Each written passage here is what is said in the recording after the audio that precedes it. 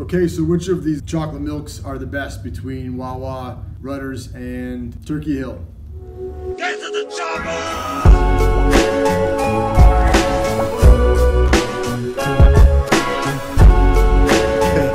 Turkey Hill in Lampeter, PA. As you can tell from the insignia, it's Kroger affiliated. I think Turkey Hill probably existed a while back and Kroger snapped them up. I'll have to do some research on that, but they do have their own chocolate milk, both in whole and low fat, and they had ultra pasteurized chocolate milk in a carton, but there was two left in the case, and the date on it was October 27th. Today, I think, is the 3rd of November.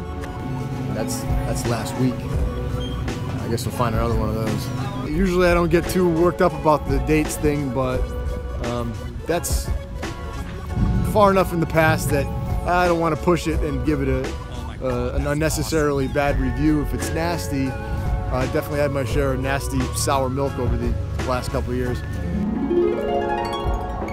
That's so bad. That's so bad. It tastes like salad dressing.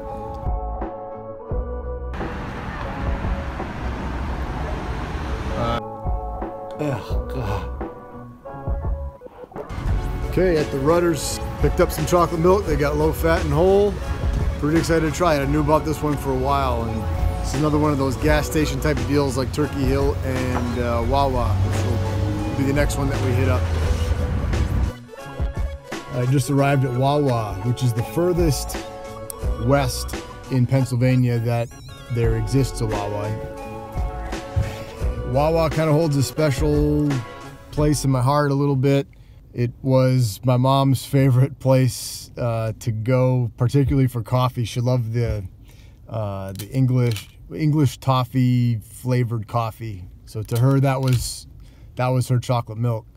Uh, so I'm gonna have to pick some uh, some of that up just in remembrance. But um, their chocolate milk does get a lot of attention online. I don't necessarily put too much stock in that as though you know as it's very much in vogue to tout bold opinions especially unsubstantiated ones in this age of twitter and whatnot. Oh wawa's the best and, you know and I, I get it. You know if you could say oh, the, oh that movie was the best it maybe doesn't mean you've looked at all movies and you think that that one is the most superior but that it's just a way of saying i really like that. I get it. We'll snap up some Wawa chocolate milk and maybe an English toffee and see how it compares.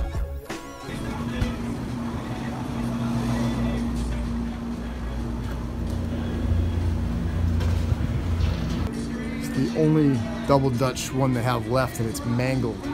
Okay, so kind of struck out there. They had a ton of 1% chocolate milk, which yeah, I picked one up because I got to review it, but that's not really what I'm after. They had one double Dutch in a pint, and it was mangled, and it's mangled, Mangled. mangled, mangled, It was mangled. and leaking and sticky.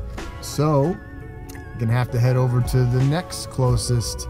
I guess the one in Ephrata is remodeling, so now I got to go down on the other side of Lancaster on Lincoln Highway. Also, they didn't have any English toffee flavored coffee. Uh, maybe that's not popular anymore, but uh, so kind of struck out on both the chords there. But for the most part, OKC's been able to stay in front of them. Wow. Man, that was, that was a brick. Holy that was. cow.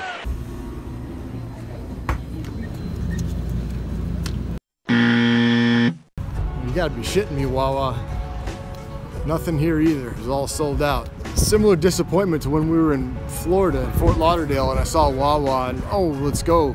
And they didn't have any Wawa branded chocolate milk. I think it was Borden or something down there. So, uh, to see where the next closest one's at, press on.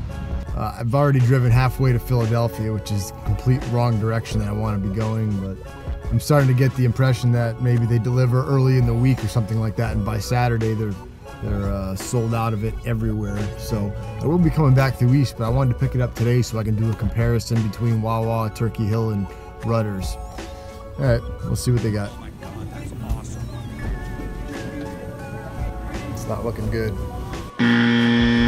Well, and I guess this is Black Horse, Pennsylvania. If they don't have it here, I'm gonna have to punt and get back to Harrisburg and, and live to fight another day. Oh my god. There it is.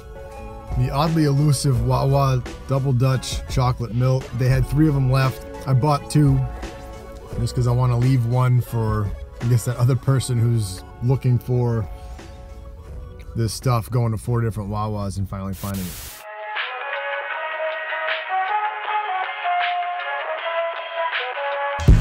Okay, so which of these low-fat chocolate milks are the best? Okay, that was a lot easier than I thought it might be. It's, it's pretty clear cut, actually. The Wawa is by far the best of these three. It's got the strongest cocoa flavor to anything else ratio, and even though it's fairly muted, the Turkey Hill is just way too sweet. Yeah, you get a kind of a syrupy, sugary rush, and it kind of masks the flavor and, and really candies it up, which I think does it a disservice. And lastly is the Rutter's. I don't even know what this flavor. It's got a really nice, thinly, thin, smooth texture, but there's a really strange. I don't know if it's a vanilla flavor. It's not cinnamon, but it's it's not chocolate. It's a really kind of a strange flavor. If you're expecting chocolate, this doesn't taste like chocolate. So, uh, yeah, clear winner. Wawa on the low fat side. Let's try the whole stuff.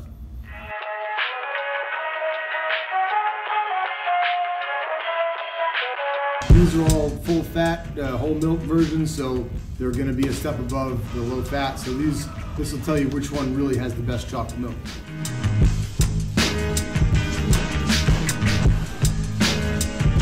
I wasn't expecting it to follow the same uh, pattern as the low fat. From a brand perspective, it's still Wawa, Turkey Hill, and Rutter's in this regard as well, although the differences are a little bit less severe. So it's a little bit tighter of a race. And Wawa is, is really unique. It's got a super strong chocolate flavor, one of the strongest I've had, for sure. It really delivers on the double Dutch aspect. It's got, it's so strongly chocolatey that it's got almost like a sour note too. It feels mature and it feels indulgent. You'll notice that, that color-wise, it's absolutely beautiful. It's a, as brown as it as it can be, and it's several standard deviations darker than average. Uh, interesting note though, on here it says December 16th, um, which is like a month and a half in the future. So I don't know if that stuff lasts as long on the shelves. It was sure hard to find on the shelf today.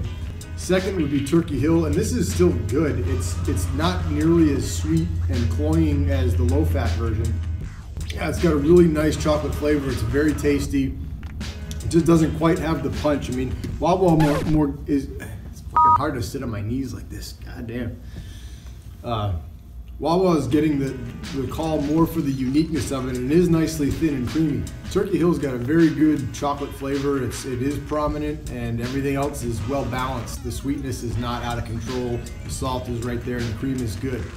Rutter's, again, this doesn't have the funky flavor that the low fat did. I have no idea what that was. And from a texture standpoint, it's really super smooth and uh, goes down easy. Yeah, smooth as silk, subtle flavor. It's just the, the, most bland of the three. These two are very overtly chocolatey, and Wawa being astronomically chocolatey uh, really propels it into first place. So, Wawa's the best. Turkey Hill, relatively close second. Rutter's, eh, distant enough third, so that's what it is. Get to the chopper!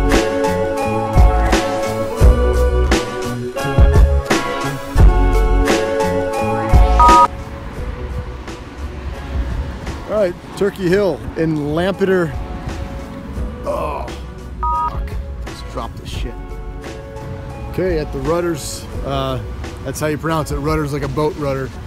Yeah, on first taste, this is nice and it's unique, uniquely strong flavor, and uh, I like that. It's good for, especially for a, what you consider a gas station or convenience store brand. They really kind of set themselves apart.